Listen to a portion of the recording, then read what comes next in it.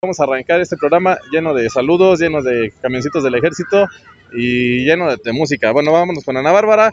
Para Fernanda, allá en San Carlos, un saludote para ella. Vamos con Ana Bárbara y regresamos.